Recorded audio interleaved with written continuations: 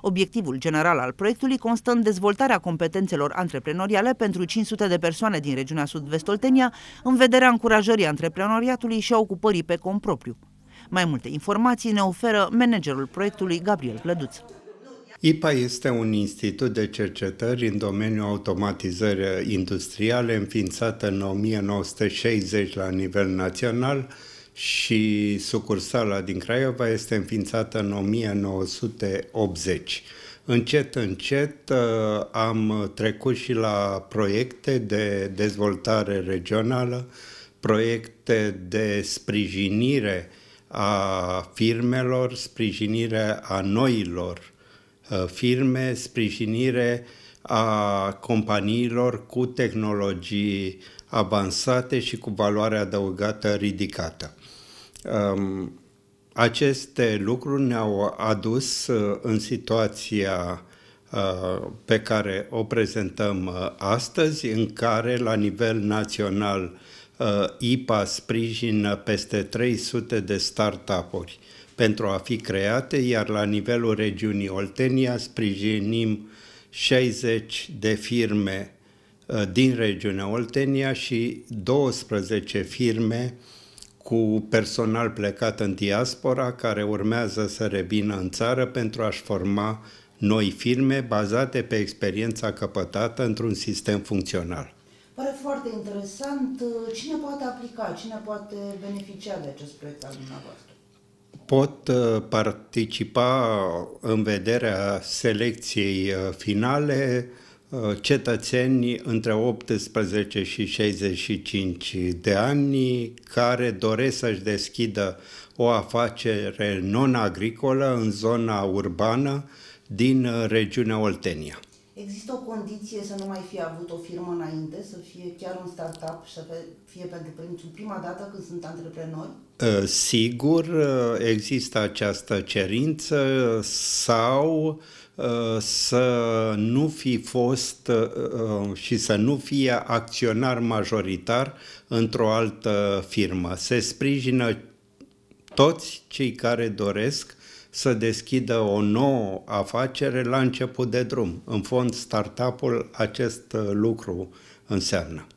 Veți desfășura și niște cursuri, uh, am înțeles, uh, din care vor învăța să-și facă acest plan de afaceri, nu? Care vor participa la competiție. Acesta este punctul pe care îl apreciez în mod deosebit la acest gen de proiecte, faptul că uh, Uh, sprijină antreprenorii din toate punctele de vedere. Mai întâi să capete experiență, urmează cursuri, cursuri despre formare antreprenorială, cursuri despre cum să scriu un plan de afaceri uh, de succes, după aceea se evaluează aceste uh, planuri și abia după aceea Uh, cei care câștigă competiția vor uh, deschide o nouă firmă, o firmă la început de drum, care și aceasta primește sprijin uh, de competențe pe de o parte, de mentoring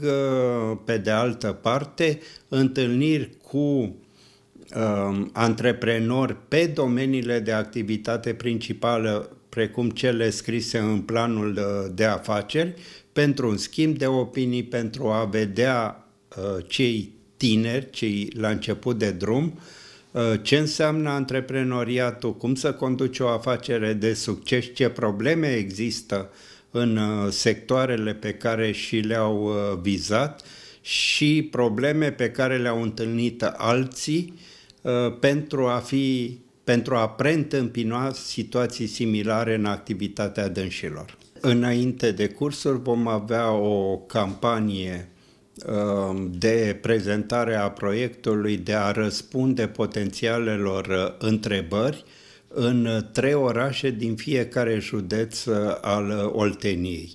Uh, cei care doresc să se înscrie o pot face acum, pot să o facă în urma caravanei acestor întâlniri care au loc. Există o procedură în acest sens, toate se regăsesc pe site-ul uh, proiectului și uh, pe site găsești și adresele de e-mail unde pot adresa întrebări pe de o parte, pe de altă parte să facă înscrieri. Procedurile uzuale ale noastre uh, sunt uh, o preînscriere când identificăm persoanele și luăm datele de contact și o primă privire asupra domeniului pe care vor uh, să-l abordeze. În faza a doua trimitem documentele care trebuie să constituie dosarul pentru înscriere și care va fi uh, evaluat uh, pentru eligibilitatea fiecărei persoane, după care facem înscrierile pentru cursuri. Să spunem că s-a înscris un beneficiar, a urmat cursurile de la dumneavoastră, a învățat foarte bine să facă un plan de afaceri, uh, l-a depus la concurs, a și câștigat. Cum se derulează mai departe? În uh, continuare, uh, trebuie să fie conștient că ceea ce am scris în planul de afacere, acel lucru trebuie să-l și realizez. Și este unul dintre principiile antreprenoriatului să spun ceea ce fac și să fac ceea ce spun exact ce am scris, exact lucrul acela trebuie să-l fac. Primesc 75% din banii uh, care sunt uh, eligibili pentru fiecare participant. Deja vorbim de fiecare firmă. Uh, ne-am deschis firma, avem un cont, primim banii în cont și începem să cheltuim, repet, exact pe domeniile pe care le-am scris în planul de afaceri. Este un alt lucru deosebit la acest program, faptul că primesc banii în avans, bineînțeles cu restric- restricția de a face ceea ce am spus și ă, după aceea ultima tranșă de bani Uh, este primită după implementarea întregului proiect pe baza planului de afaceri.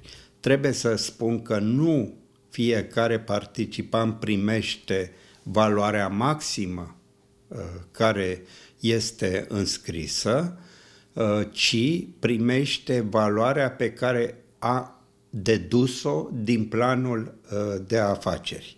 Aceea este valoarea eligibilă Bineînțeles, există și un prag uh, maxim de circa 40.000 de euro, dar acest prag trebuie dovedit cu argumente și susținut prin conținutul planului de afaceri. Pe ce perioadă trebuie să implementeze uh, planul de afaceri în momentul în care a câștigat acest plan? Uh, poate să implementeze planul de afaceri pe circa 2 ani. Spun circa 2 ani pentru că între uh, dorința de a avea o perioadă lungă și uh, posibilitățile reale, uh, se interpune planul de afaceri.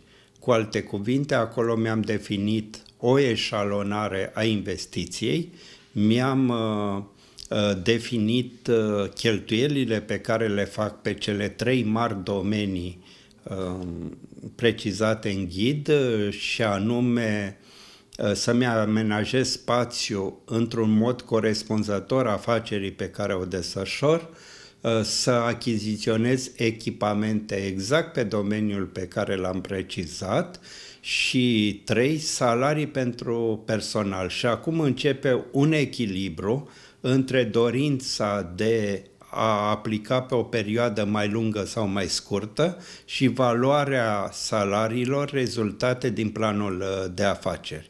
Normal, dacă îmi doresc uh, și susțin uh, o activitate cu valoare adăugată, voi avea nevoie și de o perioadă de testare a pieței, de testare a produselor pe care vreau să le vând după ce mi-am achiziționat toate echipamentele și atunci probabil mă voi duce pe o perioadă mai lungă. Dar trebuie să am grijă ca și salariile să le dimensionez pe perioada uh, respectivă. Deci trebuie un echilibru între uh, perioadă și valorile salariale pe care mi le propun. Deci, în niciun caz, nu putem să luăm uh, toți banii numai pentru salarii sau nu putem să luăm toți banii numai pentru achiziții de utilaj? Uh, totul rezultă din uh, planul de afaceri. După cum îl subliniez, sigur, o firmă de software va avea mai multe salarii decât uh, uh, o firmă care uh, realizează tehnologic uh, anumite repere, anumite echipamente. Acolo mă duc cu ponderi mai mari pentru echipamente, pentru linii tehnologice, dar trebuie să-mi păstrez tot timpul și o valoare pentru cheltuielile salariale. O afacere nu poate să apară pe piață într-o zi, două.